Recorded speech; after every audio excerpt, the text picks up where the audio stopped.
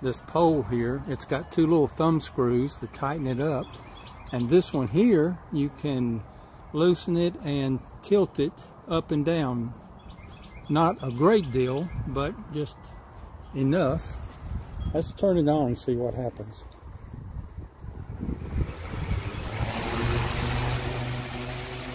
This is on low. It really pushes the air. That's the second speed. That's the third.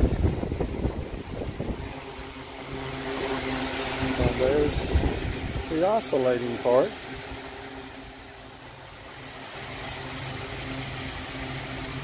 I'm hoping that this will really last a long time for us. We're going to use it out here on our deck.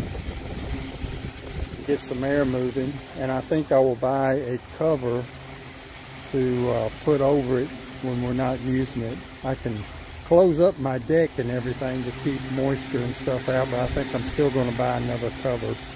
But so far, I'm very well pleased with it. It also has a fairly long cord too. It goes right back over there.